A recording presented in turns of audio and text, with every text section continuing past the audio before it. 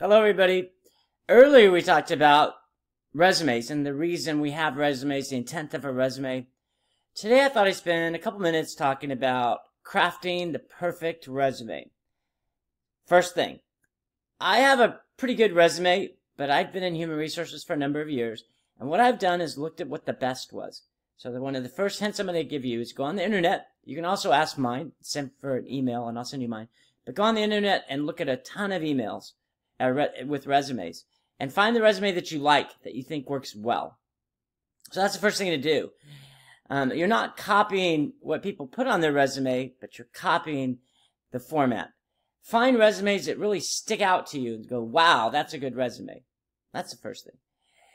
Two, second thing on crafting a great resume is remember, don't go overboard on different colors of papers, on uh, there's some people that try to make get paper that even smells good. That don't detract from the central message, but make sure that you use a nice paper, a nice quality paper, and then use nice universal font that's easy to read.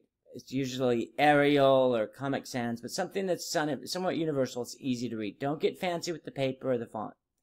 Now, the third part is make sure you have a really good email address. Um, don't great something like I want to find a job or hire me or uh, my nephew is cute. Make sure it's just something that's very simple and straightforward. Objectives. I still think objectives are important. You want to get across to somebody why somebody should interview you. Objectives are one of the key aspects that you should see first on a resume to me. Some people say they're going out of style, but when I look at a resume, I like to know what somebody is searching for. Make it a par- uh, very simple sentence, not anything more. You really try to avoid paragraphs when you write a resume. As I've mentioned before, the average person in human resources spends 15 seconds on a resume, so it's got to be quick, but objective. Now, what we have often seen is skills competencies. It's becoming quite popular today only thing I would say about that is make sure that they're related to the job. So your competencies and skills, which you put towards the top, really should be related to the job. I tell people all the time, avoid things like great communicator, solid team player, knows Word and Microsoft Office. Um, we've seen those so much, and no one pays attention to them anymore. Uh, uh the joke I often give is no one says poor, poor communicator. I can't get along with others. That's not something they put in there. So those have become so universal and even so expected that no, that not many people spend time on those from a human resource perspective. But if you want to put in there things like, um, 20 years experience in negotiations, have negotiated 14 MOUs, have, um, completed 17 contracts of sales over a million those are excellent, and those really capture the interest. Uh, and that's really one of those aspects that that get towards the top of a resume.